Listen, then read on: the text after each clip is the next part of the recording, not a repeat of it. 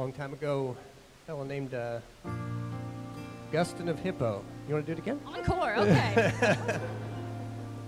Just move on to that next slide, Isaac, or you can just, there we go. Um, long time ago, a fellow named Augustine of Hippo wrote, You have made us for yourself, God, and our hearts are restless until they rest in you. I want to warn you that joy is longing. A part of our hearts, it's hard to live in this world because we're made for a better one.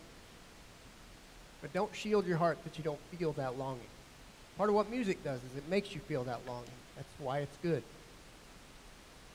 Look, um, the longing that God puts in our hearts, sometimes it gets tied to family members who have died, and it's hard to think of them. But ultimately, that longing is tied to a land that we haven't seen yet, but that our hearts tell us is there. I pray that you open yourself to that longing. This is Our Father's World is the first song that we're going to sing. Let's stand together and let's sing.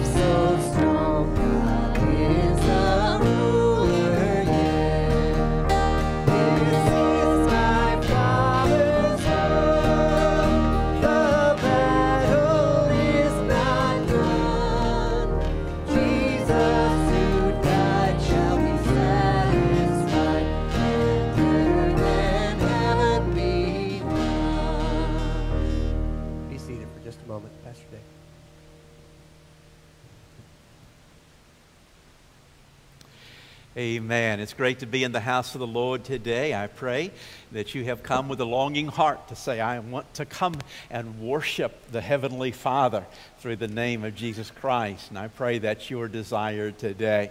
Uh, let's ask God to use this service to apply to our lives the things He wants us to know and understand and believe. Let's bow our heads at this time. Father, we know that there have been all kinds of things going in individuals' lives throughout this week. Some individuals have received good news, and we rejoice and uh, we are happy with them for the things that they are facing. Lord, we also know that there are those who receive bad news this week, and there's struggles, and there's heartaches, and there's difficulties that reside there. Father, we pray for your grace and mercy upon those lives, and most of all, Father, I pray that hope in you would rise up in our hearts, that we would encourage one another. Lord, we know that we've not gathered here today to uh, present ourselves to each other. But Lord, we have come here today to present ourselves before you. Uh, you are God. You are worthy of our praise. You are worthy of our adoration. You are worthy of our worship. And so today, Lord, we pray to that end. Father, we pray that we would stand in the day because we know that you have given us the ability and the strength and the equipment to stand against the wiles of Satan. Lord, we know that he, like a lion, roars and that is distracting at times in our spiritual lives. God, I pray that we would put on the spiritual armor and stand strong for you. So, Lord, we put on the belt of truth, shoes fit for the gospel of peace, a breastplate of righteousness, a helmet of salvation, and a shield of faith. And Lord, we pray through the hymns and through the preaching that we take out a sword, which is the Word of God. Lord, help us to stand strong in this day and time. And we pray that in Jesus' name. Amen.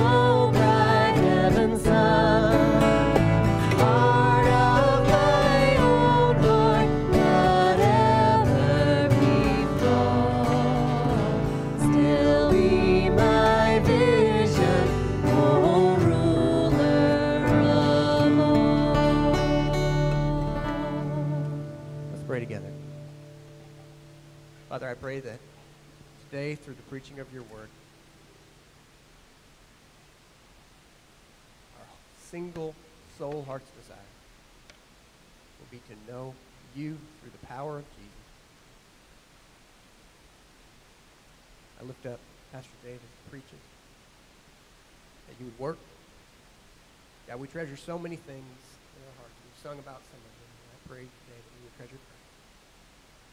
In Jesus' name. You can be seated.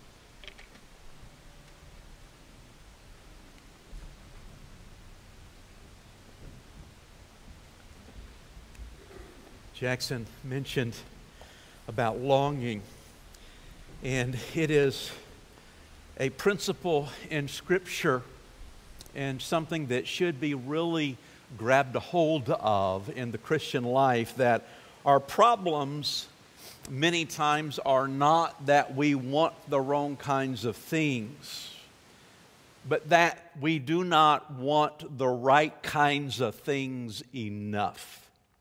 There's a principle that Jesus Christ taught that we are to love God with all of our hearts, our mind, and our soul. And our problem with sin is not that we are divided between God and sin Many times our problem is that we do not love God enough. Because when you love something so much, everything else diminishes.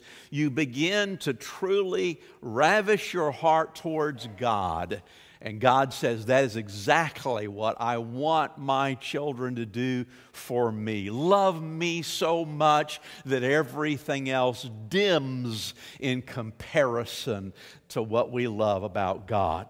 Turn with me in your copy of God's Word to Luke and the 23rd chapter. Luke and the 23rd chapter. It's been a couple of weeks ago, but uh, um, was talking to Ray Dieter uh, Grace Baptist Church is one of our sister churches. He's the pastor there. As a matter of fact, yesterday they celebrated their 100th anniversary, just a short while behind First Southern. But our conversation was rather humorous because he brought up that their building is old and they got a lot of things going wrong, breaking down, falling apart. And I commiserated with him because I said, you know, First Southern's buildings are old and we got a lot of things breaking down and a lot of things falling apart. And so we talked about parking lots crumbling Every June, a series of air conditioners fall apart. I'm looking at our trustee chairman when I say all this. Uh, and I, we, we uh, have all these different things that are going on that we have to fix, repair, try to eat, upkeep, and all those kinds of things. I'm reminded of last Sunday when the sound system had all kinds of wonky things going on with it. And I just anticipate Jackson coming up here in the middle of my sermon and fixing something or other, but that's what we contend with. And then Brother Ray said to me, he said, I got one on you. And I said, What's that? He said, I was up on the second floor in our education building a while back, and, and I saw an extension cord running out the window on the second floor.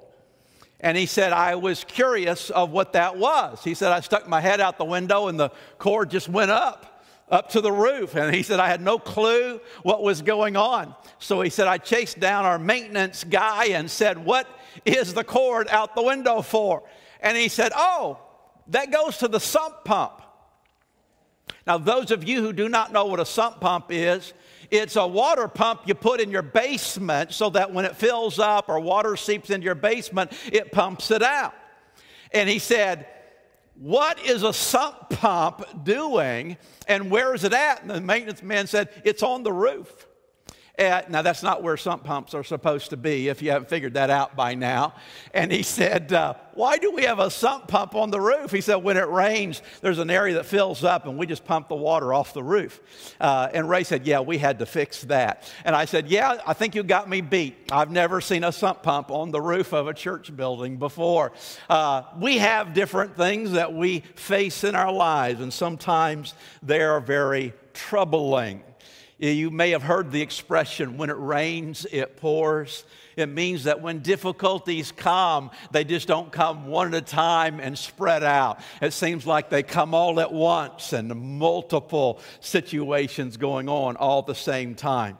I want you to turn to this section of scriptures with me. Because in our text, prior to what we are going to read, Jesus Christ has been betrayed by Judas. He has been arrested by the guards of the Sanhedrin. All the disciples have fled away. Peter has denied him three times. And that's when his trouble just begins. Look with me, Luke chapter 23 and following, where it says in my translation these words And the whole multitude of them arose and led him unto Pilate. And they began to accuse him, saying, We found this fellow perverting the nation and forbidding to give tribute to Caesar, saying that he himself is Christ a king. And Pilate asked him, saying, Art thou the king of the Jews? And he answered him and said, Thou sayest it. Then said Pilate to the chief priests and to the people, I find no fault in this man.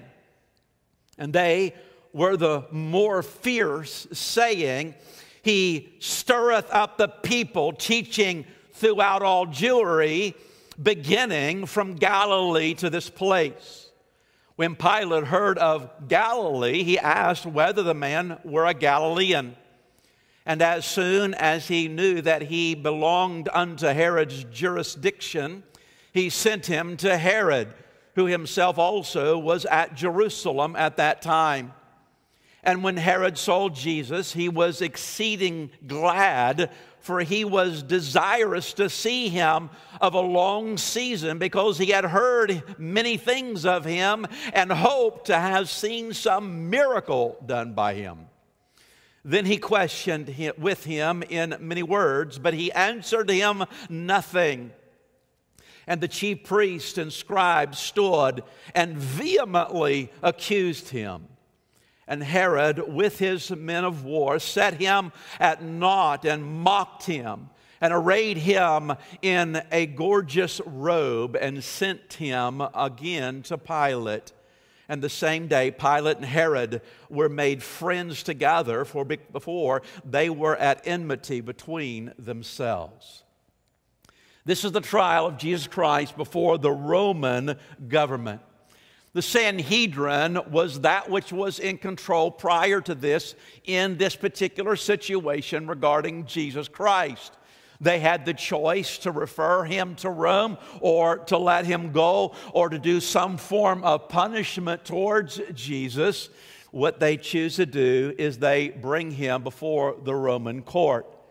Now, this Sanhedrin was a very powerful institution. These were the elite of society. They were the ones who kind of controlled things to a certain extent. They were extremely wealthy. They had the flow of finances all backing them up and were able to do many things because of that power that they had. And they were very influential among the Jewish society. Now, Rome was over Israel at this particular time. As a matter of fact, Rome was able to do whatever they wanted to do with a province that they had previously conquered. But much in Israel was left to the local government, which had been the Sanhedrin. But there was one thing that Rome said local governments could not do. They could not put a person to death unless Rome had sanctioned it. This is why the Sanhedrin brings Jesus before Pilate. They are seeking the death penalty. They are truly wanting to see capital punishment carried out upon Jesus Christ. There was no one higher than the Sanhedrin except Rome, and then they turned to Rome so that Jesus would be executed. Now, there was another level of higher government, and that would have been for someone to appear before the emperor of Rome. But there was specific qualifications for that. We find this in the book of Acts, where Paul, who was a Roman citizen from Tarsus, which was a Roman colony, And Paul in Acts appeals to Caesar, which removes it from the jurisdiction of the Sanhedrin and the Jews. It would remove him from the rulers, the local governors, and Paul eventually would appear before the emperor himself. And we know through church history that he was executed by beheading because of that. But Jesus Christ was not a Roman, and therefore this was not an option. But yet, even with our understanding in Christianity, it was not the purpose of God. God had the intended purpose that Jesus would go to the cross and that he would die on the cross for our sins. This was the plan that God had set forth for Jesus Christ. Now, Pilate is a very interesting individual. You can do some research on your own in regards to him. But Pilate is the one who is found in the midst of this decision in regards to Jesus Christ. Now, there's something about Pilate that we need to understand, and that is Pilate understood how governments work. He was a trained Roman governor. He knew for the provinces that he was in that these individuals, the Sanhedrin, had brought Jesus to him to be executed because of what Matthew says, because of jealousy. Pilate knew this. Pilate was not oblivious to the things that were going on. Pilate wasn't just ignoring the situation of that particular day, he knew exactly what was going on. But Pilate found himself in between a rock and a hard place.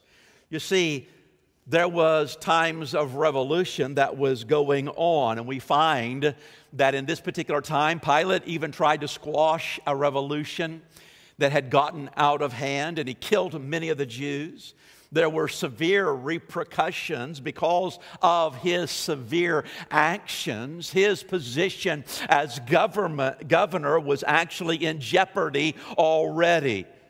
And now here is a man, he believes in himself is innocent and is being pressured by the Jews to crucify him. There's five things I want you to see in this text that's pertinent to our lives. Number one is this the charges against Jesus. We find this in verse 2. There are three specific and separate charges that the Sanhedrin had brought to Pilate and said, This man has done these things. The first thing that they said that Jesus had done was pervert the people. Now, you need to understand what that means. I'm using a term that the King James uses. Modern translations might use another uh, word. Some of them say that he was stirring up the people. Some others might refer to it in a, uh, another kind of understanding. But actually, what it means is that Jesus, they are accusing him of trying to start a revolution. Now, revolution was something that was common in the day that Jesus is in this situation. As a matter of fact, Rome had a vast area of land to try to manage, and there were many times there was groups of people who would try to raise up and, and overthrow the Roman government of that particular region and Rome would march in with a legion, which is a massive number of troops, some 6,000 soldiers and an entourage that would go with the soldiers, and they would just kill everybody to try to squash those revolutions. And yet, this is exactly what the Jews were saying. Jesus is a revolutionary. He is one who is trying to overthrow Rome. Now, here stands Jesus in all meekness and humility, beaten and already been abused by the Sanhedrin soldiers. Here's Jesus with, with very few words. I mean, before these trials, look at what Jesus says very little. He responds to some questions with Pilate, but says absolutely nothing in the presence of King Herod. And here are the Sanhedrin saying he is trying to start a revolution. Now, a very quick summary of all the Gospels, and you quickly find out one single thing that Jesus was not a revolutionary, nor was he trying to raise up an army. The one single instance we find a disciple who draws a sword to try to do some military activity, Jesus rebukes him and tells him to put away his sword. Jesus says, This is not what Christianity is all about. Yet, this is the very thing they're trying to accuse Jesus of. He is, they're saying, oh, Jesus is, is trying to overcome the power of Rome. Do you know that Jesus Christ was so against that that even modern day people will begin to criticize Jesus for not being a revolutionary? Now, that may sound strange to you, but I hear this argument on a regular basis presented both from outside of Christianity, those who do not believe in Christianity, and even some who argue it from within Christianity. And this is how the argument goes slavery was a horrible and despicable thing. Jesus should have started a revolution to overthrow slavery. But you see, Christian, I want you to understand something today. Jesus did not come to be a changer of governments. Jesus came to be a changer of the human heart. You see, there were many atrocities going on in this particular day. They would march people into the Colosseum and they would slaughter each other like animals. And that Jesus did not speak against the Colosseums, but yet someone says, well, we don't see that happening as much today, and therefore we don't have an outcry against such things.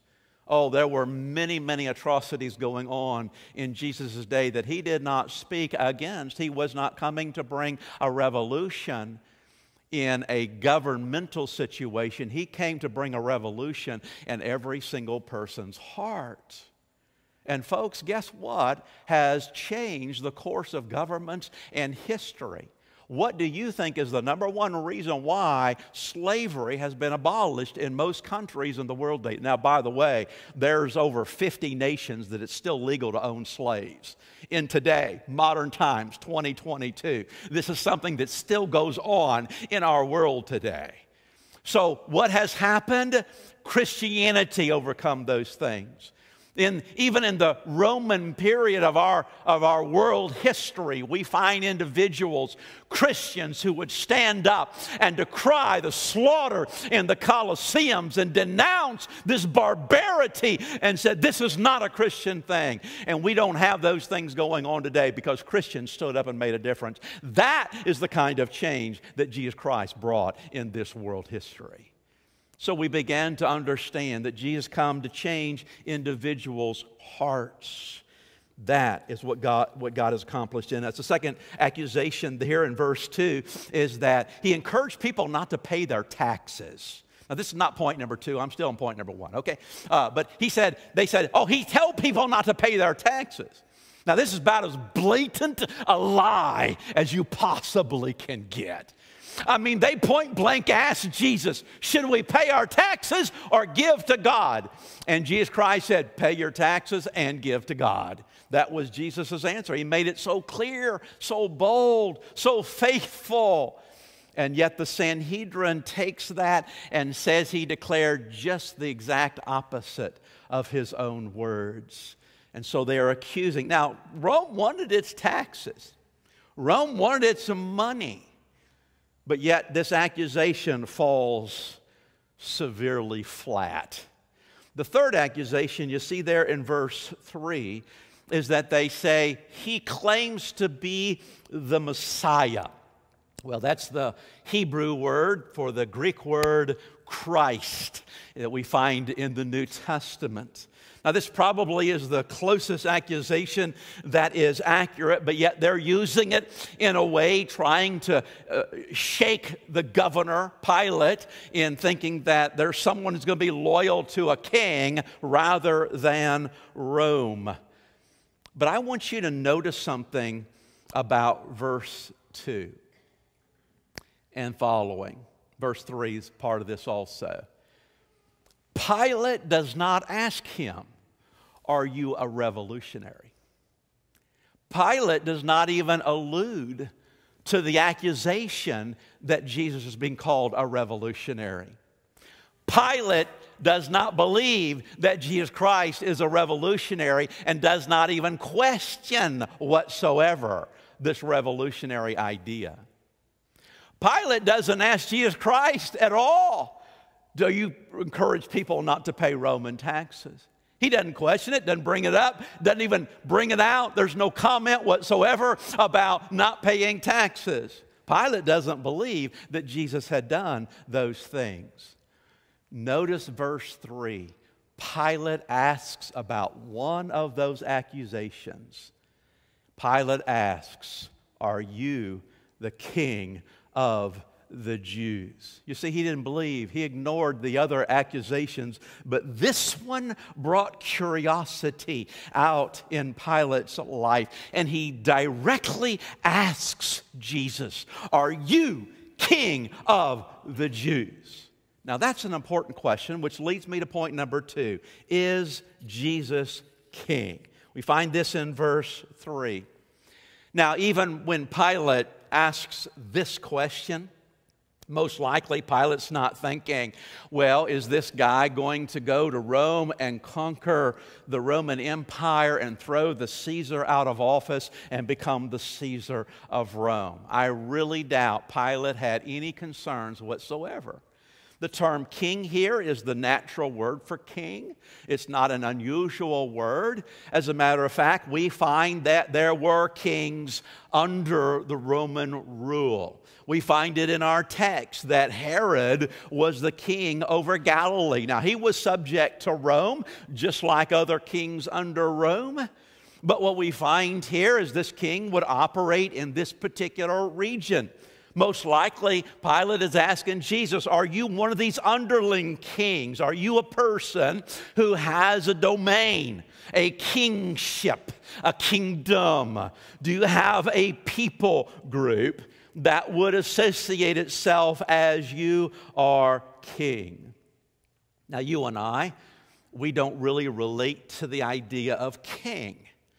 In our culture, in our society as a whole, we find different kinds of kings in our world. We, there are still some kings that have absolute rule, life and death being even one of those. But we know more kingdoms in our world where the king is very limited in their power. We even know that there are countries today where there are kings and queens, and they are just sort of uh, figures of state it's just a ceremonial position that is held with absolutely no power at all. Now, here's the question and why I ask this in this particular point. I ask you this morning is Jesus your king? Is Jesus king to you? Now, I find Christians respond to this across the board. I fear, and it's a great concern in my heart as a pastor, where there are those who look at Jesus as king as simply a ceremonial position in their life. There are those who would declare, well, yeah, Jesus is king, but he's not going to tell me what to do or not to do. And they feel free to just sort of relegate Jesus as some kind of figure that they maybe show respect to in some way. Well, let me tell you this morning that is a false Christianity. As a matter of fact, that's not even Christian at all. When Jesus Christ, and the way I ask the question, is he king to you? What I mean, is he the Lord of your life? Is he that which tells you what to do and not do, and then we obey that?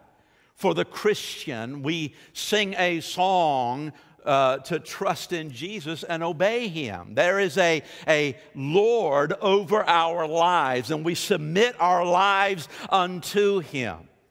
The Bible declares in Revelation that He will be demonstrated once in, in, in the future as the King of all kings and the Lord of all lords. Philippians tells us that there will be a day when every knee shall bow and every tongue confess that Jesus Christ is Lord. Now, I simply ask you today is he that king to you right now? The third thing I want you to see here in point number three Jesus is innocent. The end result, both before Pilate and Herod, is that both of these individuals declare and say, I find no fault in him. In other words, there's nothing that could be said against Jesus Christ. Now, we might tend, and I ask these kind of questions in my head when I'm studying scriptures like this.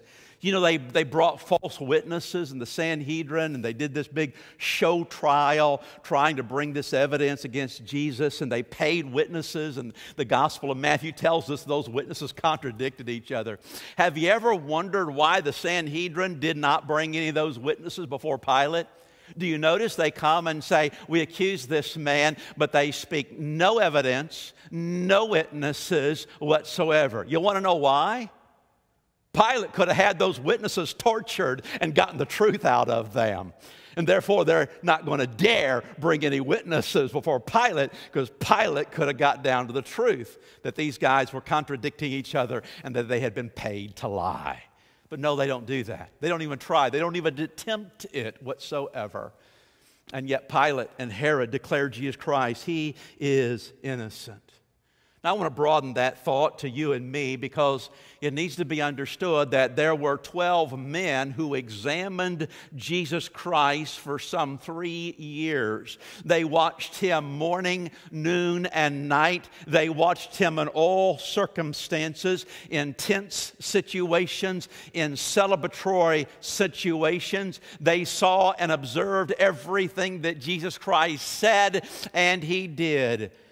And those 12 men knew that Jesus Christ had never sinned and was innocent of all things. Even Judas Iscariot, who he himself betrays Jesus Christ, begins to feel remorse and sorrow over the actions that he has done. And he goes back to the Sanhedrin and says, I want to give back the 30 pieces of silver. And they refuse to take it. And he throws the money into the temple and says, I have betrayed an innocent man. So the one who betrayed Jesus even declared him innocent of all wrongdoing. I want to broaden this even further than that. We find on two different occasions God Himself speaks from heaven and puts His stamp of approval on Jesus Christ. We find it both in the time when Jesus was baptized, and we find it when Jesus Christ is on the Mount of Transfiguration. And God Almighty, and people heard the voice, God Almighty speaks from heaven and says, This is my Son in whom I am well pleased. God never compliments sin. As a matter of fact, when He created all that was created. Each day he declares his stamp of approval. It was good. And when he creates Adam and Eve, he said it was very good. God doesn't compliment it anymore after Adam and Eve sin. What we find is God puts his stamp of approval on Jesus Christ and says he is perfect. Even when we think about Jesus Christ going to the cross for our sin, do you understand how significant that is? Why didn't God just pick a good man somewhere? Why didn't He pick a, an Isaiah or a Jeremiah and say, You go to the cross? Because they were not perfect individuals. You want to know why Jesus Christ is the one who had to go to the cross? Because He's the only one, only one, only one that has ever been perfect in every single way. And it is only a perfect Savior that can save us. This is why you and I can't pay for our own sins. We can't work hard enough to get rid of our own sins. We can't do enough things to get rid of our own sins because we're sinners. But Jesus Christ went to the cross, died on the cross for our sins. Why? Because he was perfect in every single way. Hebrews, the book of Hebrews tells us that Jesus Christ was tempted in sin, all the ways that you and I can possibly be tempted, yet Jesus Christ did not sin. Even when tempted by Satan face to face, Jesus Christ refused to obey Satan, instead, obeyed the Heavenly Father. This is why His blood covers our sins. He is the only one who has ever paid for your sins. He is the only one that you can put your trust and hope in for salvation. Point number four hoping to see a miracle. Now, I just wanted to spend some time here thinking about Herod here a little bit. Herod is the king of Galilee. He is the one over that region. He was the descendant of kings of this particular region, Herod the Great and others who were a part of this family, and he is now uh, a king over a certain area. Pilate, who does not want to condemn Jesus, begins to look for a way out, and he finds that the Sanhedrin is not going to refuse whatsoever. They're being pressive in every way they possibly can. And he begins to hear someone say that he's done this in, Jude, in Galilee. And so Pilate says, Hey, that's not my jurisdiction. Pilate's not governor over Galilee, and Herod is the king over that. Let's, let's shove him off on Herod, then my problem is taken care of. How many times we try to get rid of our problems by shoving it off on somebody else only for it to blow back in our faces? Well, that's exactly what Pilate is doing here. Sends him off to Herod. Now, Herod, it says in our text, curiosity was a part of his life. He wanted to meet Jesus, but a king can't come out and say, I want to meet this prophet over here. You know, he can't do that. And he's wanting to meet Jesus, and this opportunity falls in his lap where Pilate's going to send Jesus to Herod. And so Herod's excited about this. Oh, good, I get to meet Jesus. And then he starts to talk to Jesus, and Jesus refuses to say a word to him. Jesus refuses to say a word. You know, there's some wisdom in keeping silent. You know, don't y'all wish there were some presidents who just keep silent? Don't, don't y'all wish some politicians once in a while would just keep silent? Do y'all know some newscasters that you just wish they'd keep silent?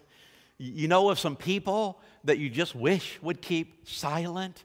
There might be some in this very room right now saying, Preacher, we wish you would be silent. Not for a while yet, okay?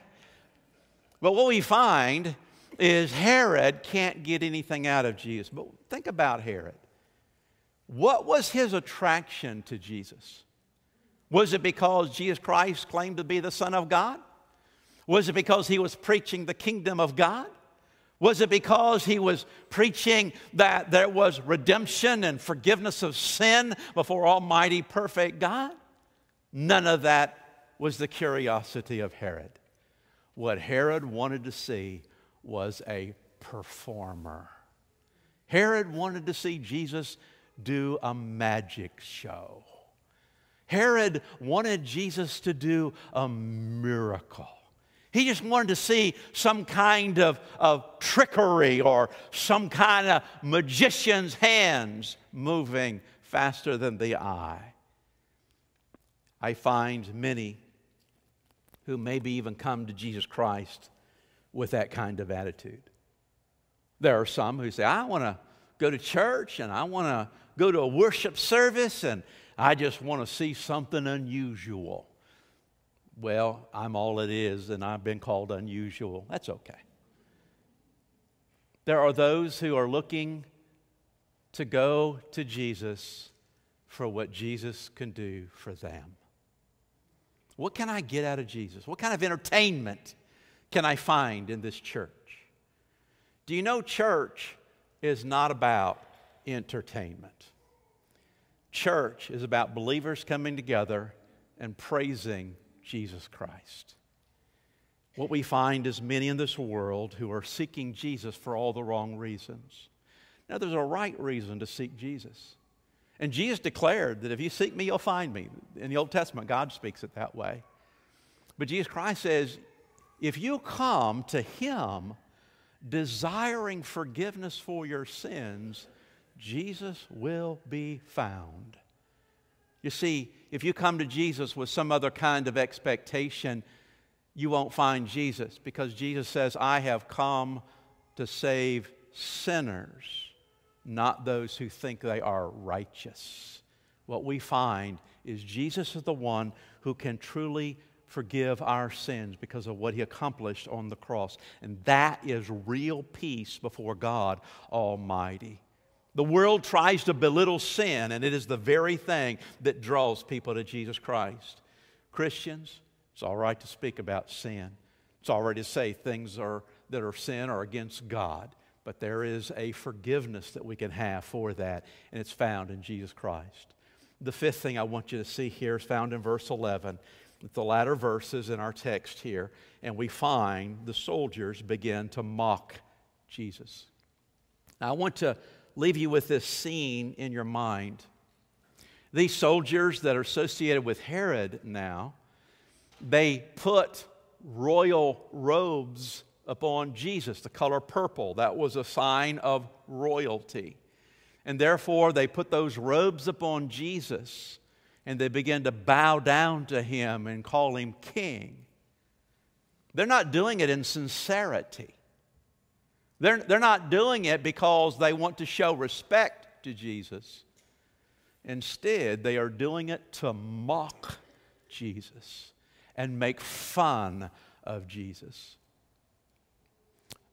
Over probably the last 10 years, my heart has been more grieved than any time in my lifetime because I have never heard the amount of mockery towards Jesus in other times of history than these last years. Finding people that make fun of Christianity, ridicule Christianity, describe all kinds of ungodliness, and say, we don't care what the Christians feel about that. It grieves my heart Often, when I become aware or sense or hear someone make fun of Christianity, I will either stop and pray, but my prayer is usually, Jesus Christ, I praise you. Jesus Christ, I honor you. Jesus Christ, I respect you. The world may not, but let these lips be ones that praise you all day long. There is a sense of respect and honor to speak the name of Jesus, while others use it in a form of cursing. Christians should raise it up in praise to the Heavenly Father. And while I was doing that, it became impressed upon my heart in some Bible study that there was a day when those soldiers who threw that robe on Jesus and mocked him and made fun of him stood before Jesus Christ as judge of all humanity, and Jesus in turn judged them. And when I hear the stuff that I hear going on in the world today, I am reminded over and over again one day they're going to stand before the judge of all humanity, and Jesus Christ will judge them. We don't see it visually today. We don't, we don't relish in suffering or punishment. But I can assure you, based on the very Word of God, that God said, I want to write this down so you can know this Jesus Christ is going to judge all of humanity. And there are those who are going to stand before Jesus Christ who have mocked him, who have declared that they do not believe in him, who have made all kinds of fun. Even those individuals who wrote books trying to mock Christianity or lie about Christianity and tell all kinds of fictitious lies about Jesus Christ, and many have believed those very lies, those individuals are going to stand before God Almighty and Jesus is going to judge them. But let's make it a little bit more personal. Because in our lives, our Christian lives, we say, well, Are we going to stand before Jesus? It's going to be a different picture, though, isn't it? Because we're going to stand before Jesus. The Bible says that Jesus is our advocate, which means that he stands up before God Almighty and says, I died for this person. They put their faith and trust in me. My blood covers every sin they've ever committed in their life. And God's going to look at that person and say, Enter into heaven, for the reward is yours.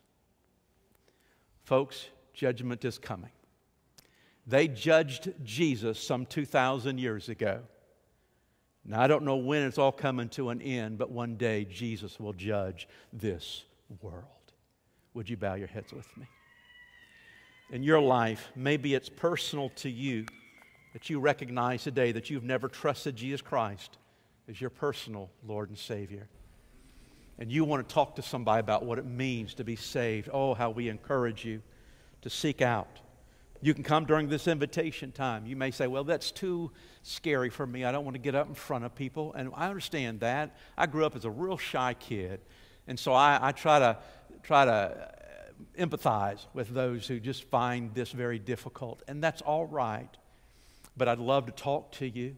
Maybe you just want to talk to somebody. Catch me out here in the foyer and just we'll sit down and open the Bible and see what the Bible says about what it means to be a Christian. I'd love to do that. I wouldn't intimidate you, I wouldn't embarrass you. I just simply open the Bible and relate what the Bible says about salvation. Maybe today you're already a believer and yet you've been struggling in this world. We have all kinds of pressures on our lives, even pressures that, that we hadn't anticipated or don't even know how to handle. I mean, there's sicknesses, COVID, there's social distancing, things that are still a big issue in people's lives. There's job situations that people are struggling through. There are individuals who are struggling because of finances and the uh, increase of costs of things. And, and I could go on for a long time, but that's not the purpose here. The purpose here is do you have a church family who can pray with you, encourage you, be around you, where you can study the Bible together with them, sing hymns and new songs to God from the Word of God? Here, what we need to do is draw together as a church because Satan is in an uproar fighting the church today. Christians, we need to take on the armor of God and stand strong with the Lord. I encourage you in that. Maybe you want to come and pray here at the altar. You are welcome to do that. Maybe you want somebody to come up and pray with you. Just lift your hand up by your shoulder. We'll recognize that, and someone will come and pray with you. Whatever God wants you to do in this invitation time, I invite you to do that right now. Let's lift our heads. Let's stand and sing as God leads. You come.